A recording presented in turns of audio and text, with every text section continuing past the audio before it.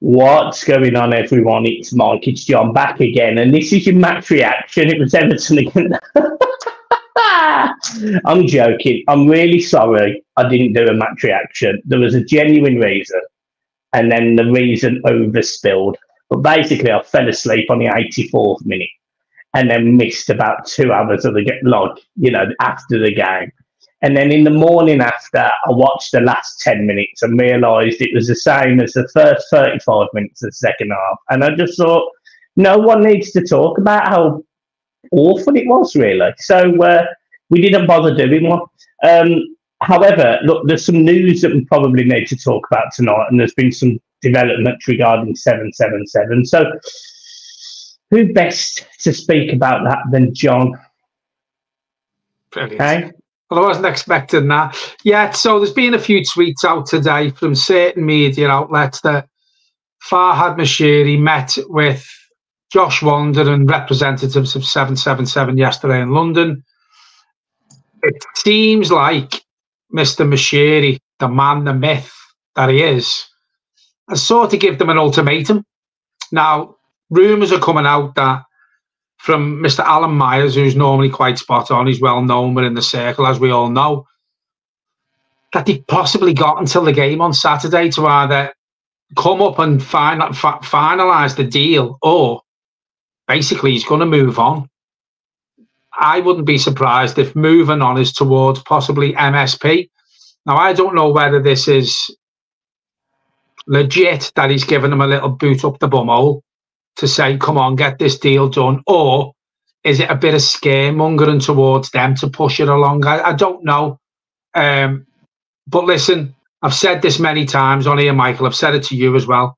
We need some sort of clarity now, whether it be 777 or whether news comes out that we're in talks with MSP or a US consortium or whoever it may be we just need something to happen now because we all know we apparently have to sell a player by the 30th of June.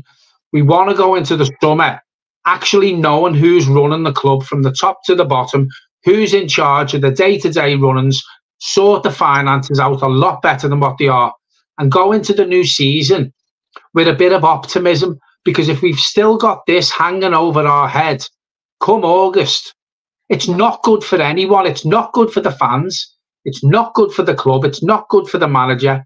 And it's certainly not good for the players because the players are going to want to know who's going, who's coming. So we just need it sorting out. This is dragged on now for something like, I think it's seven months now. You know, and Farhad Moshiri come out not long after he'd started the talks and said, these are the best people for the job. We're hoping it's a quick process. I think he put a number on it of 12 weeks. We're now seven months in and we're no further on. All we know is they're putting money in from somewhere, and we're going to have to pay them that back if if they actually if Moshiri doesn't go with this group of people. So it needs sorting because day by day, Everton are getting in a bigger hole financially because there's money coming in from 777. MSP, we owe money to. We owe 40 million pounds to some sort of bank. We still owe Laing O'Rourke 150 million to, to, to finish the stadium. So we need to know where the club's going and it has to be done quick because as I say, it's no good for anyone. So that that's my take on it. Um, it's dragged on. It's all people seem to talk about now. We're safe, which is, you know, a positive. The football seems to be forgetting forgotten about forget seems to be forget bloody I can't speak. Seems to be forgetting, forgot, blood, seems to be forgotten about now, the football side of it.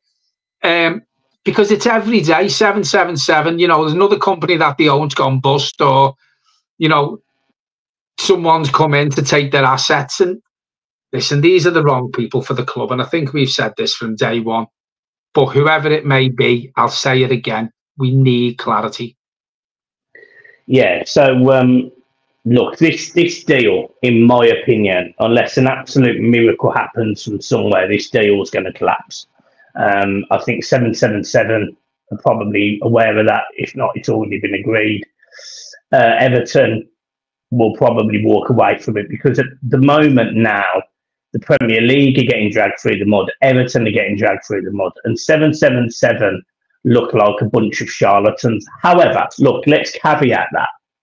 They are a bunch of charlatans. They appear to be con men, is what they've been described as. I, I don't know anything about them. So obviously, I, I don't know if they are charlatans and con men or not. I have no idea about their business operations. But I think the point is they're being labelled this from external sources. They're being labelled this from different people, um, you know, like Leadenhall Investments and, and other investment groups. Um, Bonza and the, the plane leasing company have seized three of their planes rather than four. There's plenty of issues that they've they've sort of got, and I think the problem is it's it's now becoming the water is no longer clear, which is Everton, twelve weeks, seven seven seven ownership. That is that is no longer the case. We are now Everton, two hundred and fifteen million pound roughly indebted to seven seven seven, who by all accounts have kept the club afloat for the last seven months. Um, so they deserve absolute credit for that, and I thank them for that, obviously. Um, but the simple fact of the matter is, these aren't the right people. These aren't the right people for this for this takeover. They aren't the people that are going to add liquidity to our cash flow. They're not going to add any valuable assets to our arsenal, which will help us get out of debt. And they're not going to create credit facilities, which will allow us to optimize our, our loan payments. So, in my opinion, these people are not the right people. However, am I grateful to them? Yes, absolutely. Because the one thing and the one enemy here of Everton Football Club is Farhad Moshiri. And me and John have made comments on this lots of times. And there's certain people that have been involved in the club over the last few years, over the last five years, 10 years, 20 years, 30 years, whoever it may be, who have fundamentally sent this club on a downwards spiraling trajectory, which only sped up when Farhad Moshiri came in. The simple fact of the matter is Everton were never this badly before Farhad Moshiri. But it was the equivalent of giving his bank card to a toddler in Smith's toy shop. And Everton went to town, they spent far too much money, and they never had the commercial revenue to cover it. They then got the USM deal, which covered the commercial revenue, which meant they could try and compete with the big boys. And then the players that were signed, the managers that were appointed, people that were brought into this football club have fundamentally ran it into the ground. And Everton Football Club, as of right now, are an absolute carcass of the giants that we once were of English football. Facts. End of story. Now, how do we get out of that? We need somebody to come in with fresh ideas, good ideology, and knows a way where Everton can get out of it. We can have an owner funded loan. We can have a loan from the director, which we pay back to the director, which will give us the opportunity to spend in the transfer window, make sure our balance sheet looks better. The facts are, as of right now, Everton Football Club are an absolute mess. Farhad Moshiri wanted something like 500 million. The 700 million pound of debt in total. That's 1.2 billion pounds for a clean slate. Now that that is the Everton are not worth 1.2 million pound globally, commercially, in any image. They're not worth it. So we've got some serious issues that need addressing, and somebody needs to come into this football club that knows what they're doing, knows how to fix that. I don't think those people are 777 who borrow against assets that they've either got or allegations are they don't even own, or they've got double lease agreements against certain assets all of these allegations, albeit allegations, they're all damaging, they're all significant, and they're all negative. They really affect Everton. And on top of that, and I hate to be negative, a lot of people are forgetting that Everton may well have lied about the financing behind the stadium, which actually could mean that we start next season with a points deduction. And that's without the threat of administration. If Moshiri goes, oh, 777 aren't putting in the money in uh, in May or June. So I tell you what, I'm not going to put the money in because I can't be bothered. I'll wash my hands with it. I'm done. I'm finished. Everton goes soaring into administration at a rate of knots. we start next season with an horrendous points deduction, knowing that our saleable assets are all going, we could be in, in, in real trouble. So I know this is a negative video, but Everton have got six weeks to save itself, in my opinion. And that that is the fundamentals of it. The, the thing is, you, you you brought the figure up there of 1.2 billion pound to buy Everton. That's if Moshiri does get the 500 million pound that he's wanted since day one. Everton aren't attractive. And listen, we all love Everton Football Club dearly. You know, from the minute we open our eyes to the minute we go to sleep, it's conversations about Everton. We're constantly thinking about them, but they're not an attractive proposition anymore. Everton Football Club, they were, but it sounds bad for a, a big blue like myself and Michael and thousands and thousands of other Everton fans to think that we're not attractive anymore. We don't challenge for Europe the last two, three seasons we've been in relegation dogfights. Who's going to come to Everton looking at that, the, the mess that it's in? What I can't get my head around, though, Michael, is why has Farhad Moshiri stuck with 777 for so long? You did, this day, whether it be tomorrow, the day after, next week, because I think it's pretty inevitable now that the 777 deal is going to fall through. If we can see that and know that, why hasn't Farhad Moshiri seen that before now? It's it's been very well highlighted that it's not just one company or two companies that are struggling under 777. You know, if you hear rumours of one going bust or the administrators have been brought in and one or two of the companies, and you think, well, you know, are they putting all their eggs in one basket with Everton and just concentrating on Everton? Because as you quite rightly said months and months ago, Everton will be their baby if they get in. It'll be the biggest thing they've got on their portfolio. The problem you've got now is they were getting backed and they had backers behind them. Then backers have stopped backing them now. So they've got no money coming in from nowhere. You know, there was a 120 million pound off them, I think. Then there was an 80 million pound or whatever it was. Then 10 days ago, I think it was something like 20, 25 million. We spoke about this this morning. So if you look at them figures from when they were first interested and they were throwing money in, to keep the club afloat. It started to go lower and lower each time because they just haven't got the cash. Farhad Moshiri must have seen this. And then you go back to what you said before about whoever comes into the club needs the right people to run it. Now, the day Farhad Moshiri stepped into Everton Football Club, he didn't do that. He kept his trust and his faith in Bill Kenwright. Now, listen, I might be wrong in saying this in a lot of people's eyes. I've said this to Michael on the phone. A lot of people seem to have a pop at Bill Kenwright, me included. Listen, he's the man who could have had Manchester City's owners. And the reason why they pulled out the deal was because he wanted to stay involved with the club. They didn't want that. They walked away. The old saying, look at Man City now, if only, if only Bill Kenwright would have went, yeah, I'll hold my hands up. I've had a good stay. The club's yours. But no, he insisted on staying on the board. They walked away.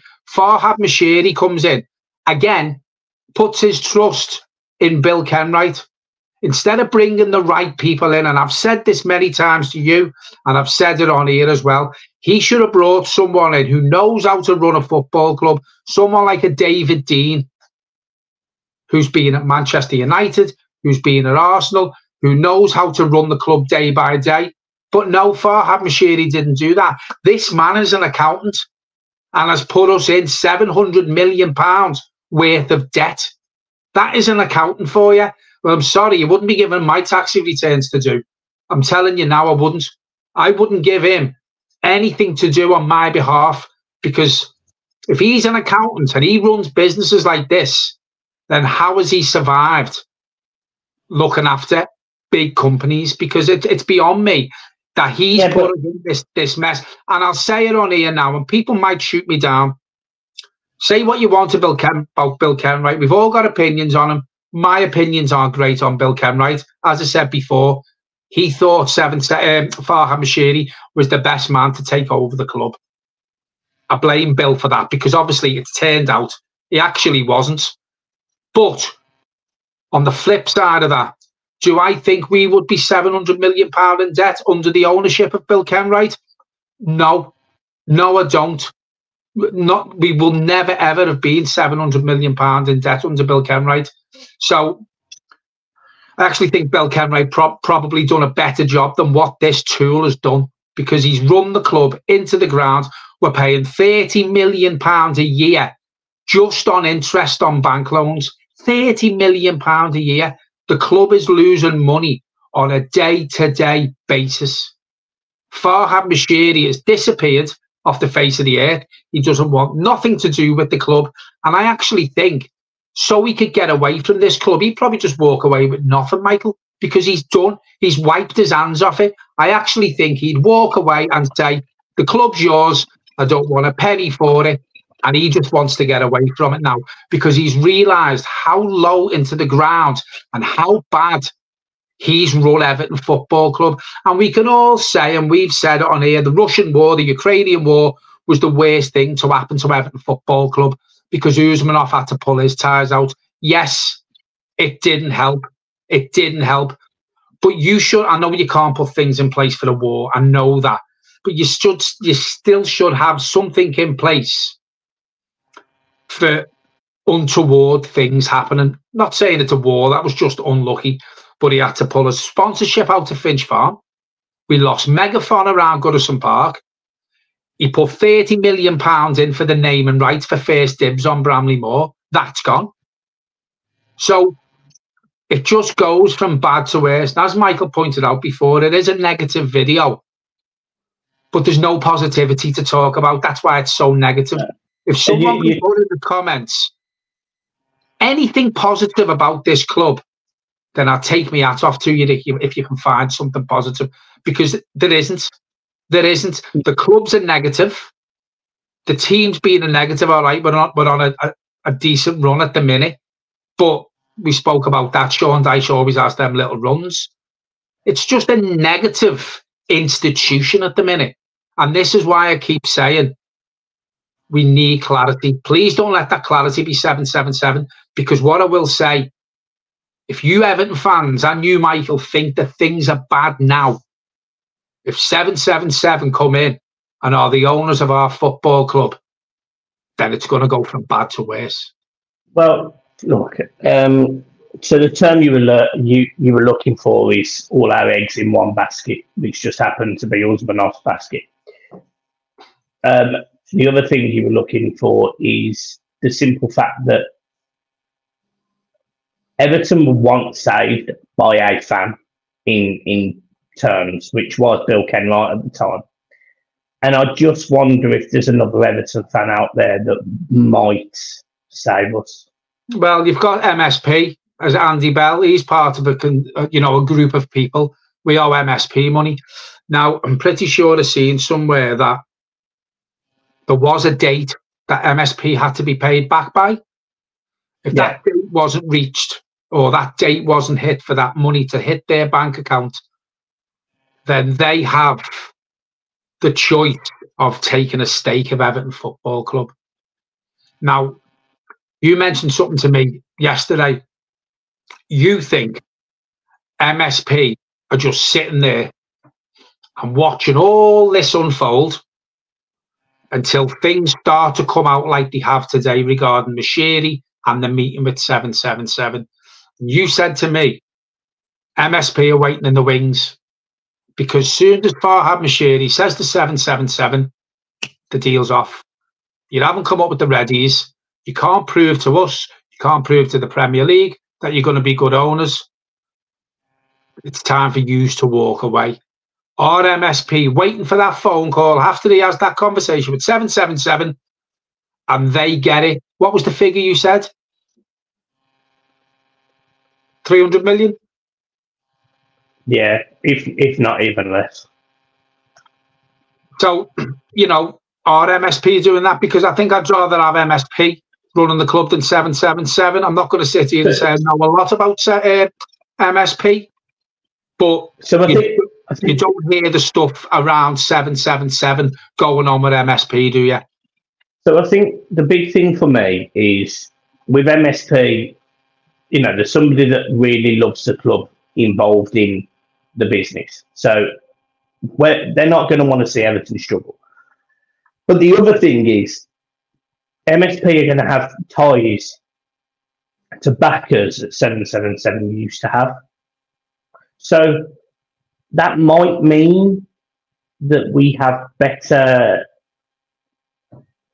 better option? I mean, I, I don't really know. You know, you're talking about the, likes of MSP, Michael. They're involved in Formula One, so they're not they're nothing like seven seven seven for the start. And I think well, the likes of start, MSP, I've never read I've never read anyone connected with MSP have football clubs not paying their players and not picking up the phone and being contactable, which is what's happened with Standard Liège today. Their players haven't been paid and they can't contact Josh Wander 777 to know when the payment's coming out. There's well, also this news to me. Their sporting director is being touted to replace Dan Ashworth at Newcastle. So 777's pack of cards is crumbling around them. I'm telling, I'm telling you now, this deal with 777 will not, it won't happen. But it's just who comes in. And if nobody comes in, we're in deep trouble, John. Deep, deep, deep, deep trouble. I actually think if no one comes in and this isn't sorted in the next two, three, four weeks, Michael, I think you've got to start looking. And this is a terrible word to use, but administration. No, there'd be no, there'd be no choice. Well, so if we go into administration before Arsenal, then we lose nine points this season. I would hope so, yeah. If we go into administration on the Monday after the Arsenal game, then we start next season on minus nine. So added, added to the fact, added to the fact that Michael alluded to before, there could be another points deduction coming in if Everton haven't been straight up with their figures for Bramley-Moore think I've seen five points touted around for that. So that means Everton could realistically start next season on minus 14 points with no yeah. Jarrad Branthwaite, probably no Jordan Pickford. And Nana's by the by for me, but everyone knows me thought on that. There's the spine of your team.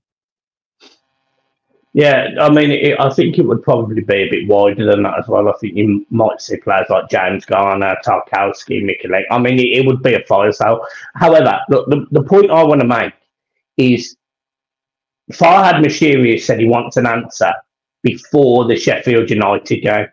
Now, is that because he wants to set the ball in motion for something between the Sheffield United game and the Arsenal game? Is is there something in there that is ingoing? Yeah, it gives him it gives him a week. I mean, I don't, I don't know, John. I, I, I don't know. I don't know if Everton was to push the button on administration. I don't know how fast nine points get deducted. I really don't. But if we beat Sheffield United on Saturday, then irrespective of a nine point deduction or not, Everton will be a Premier League team next season. Now, I know if I was a businessman and my only option is administration, which, by the way, guys, I don't know if it is, and I really hope it's not. But if it is administration, I would pull the trigger this season after I know we're already safe let's just hope it doesn't come to that. And there is some truth that he wants some clarity before Saturday's game against Sheffield United, because hopefully we'll know one way or another by then. It's getting dragged out now with 777. It's getting dragged out from their side. It's getting dragged out from Moshiri's side. I think it's pretty obvious to everyone involved in this, whether it be the fans because it's our football club, whether it be Moshiri or whether it be Josh Wander. I think it's plain and pretty obvious to see that 777 aren't going to own Everton Football Club. So instead no. of giving them a deadline of the Sheffield United game and dragging it out even more, or as you say, is there a method in his madness saying this, and then dragging it out to the Arsenal game, then a week after the Arsenal game, pull the trigger now. The talks are off. The deals fell through. Whoever comes in, sort with them how, how your money's getting paid to you and start talking to somebody else because this needs sorting. A ASAP as soon as possible.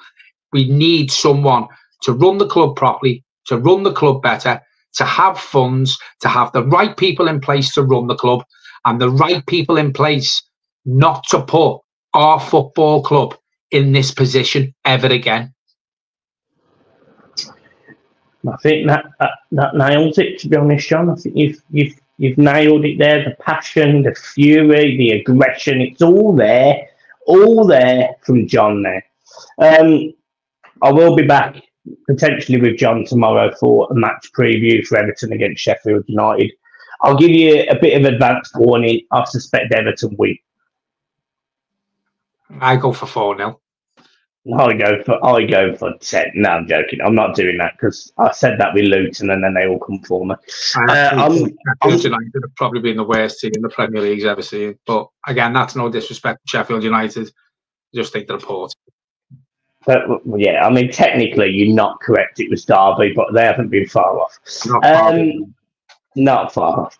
Um, so yeah, guys, look, we will leave it there. Make sure you hit the like and subscribe button. Make sure you follow us on all of our socials. And if you do need anything in the meantime, speak to you soon.